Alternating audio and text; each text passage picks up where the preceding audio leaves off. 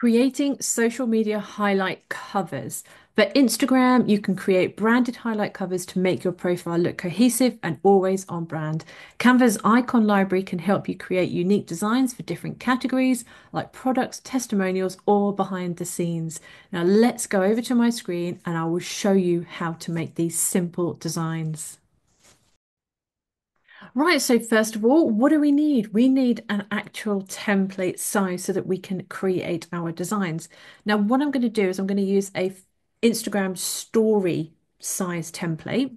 So I'm going to go over to create a design, type in Instagram, and it will bring up all of my Instagram sizes. Now you can go for a Instagram size, which is the more of a more the square or the new four five size but I'm going to go for an Instagram story so we can really see what we're creating here. Now, the first thing I would do here is with my branding colors, I would probably change the background to suit one of my brand colors. So I'm going to click on the color background button here. And as I've got my branding set up in Canva, it has actually already brought up my branding colors for me. And I'm going to set the background to one of those colors. The next thing I would want to do is work out what kind of icons I would like on these designs. Now, if you're looking for creating covers that are for products or tutorials or um, any different thing that you create within your business, look for an icon that relates to that. Now, Canva has so many different icons. I could go over to the elements section and I could type in um, graphic design icon, for example. So let's say I was looking for various different things for my business, or so say it could be graphic design. I'll click on the see all option here and it brings up all these amazing little icons for me that I can now use within my design. So let's say I like these ones. I think these are quite cool and I could use these for my different varying highlight covers. I can click on one of them and use it as a highlight cover. The great thing about a lot of these elements in Canva is that you can actually change the colors. Now, these ones that I've just shown you, I could click on one of these. Let's say this could be for web design. I can have another one. This one could be for mindset and helping business owners.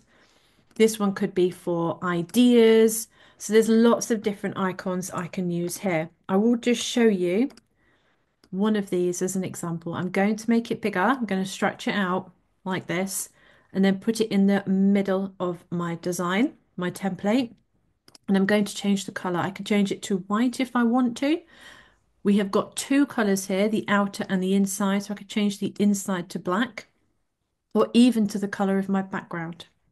Next, I can add a text box. And if I bring the text box up, let's say this one's for web design. I can make the text bigger so it can be seen in the bottom of the circle.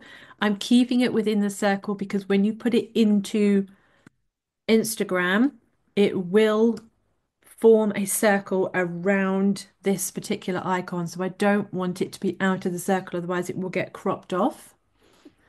If I make that nice and bold and change it to the same color, I've now got my own little icon I can use for my highlights using one of these, which actually look pretty boring and pretty dull. But because I can change the colors and I can add text into them, it makes them so much nicer. Here's a few other different ideas for you. I've got one here where I've just used a basic circle element and I've added an icon inside so you don't need to go for words. You can just have an icon with a circle, which helps you get it right when you're actually uploading it to Instagram. This one's just got a shape around it, for example. Um, we can change the color of the shape, so you could go for white, a very simple one, but it just gives you a different view of what you can do. That one's got a full background, that one's got an actual circle element, and this one has a shape around the outside.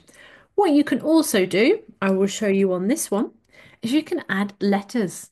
You can add, say, C for creative, D for design, B for branding. It depends on what you're doing, as I say in your highlights, depends on your letters. But if you go to element, and let's say we're going to go for B for branding, type in the letter B, and it will bring you up lots of different types of Bs. Now, if you want to keep the same alphabet, pick one of these because the chances are it will have more letters with it. This one, for example, let's say that one, click the three dots, see more like this, and then it will give you all of the other letters that are within that set. Now I could go, okay, let's have um, a D for design on this one. On this one, we are going to go back to the elements section. I'm going to have um, E for email. I'm just making these up as I go now. I'll add another page.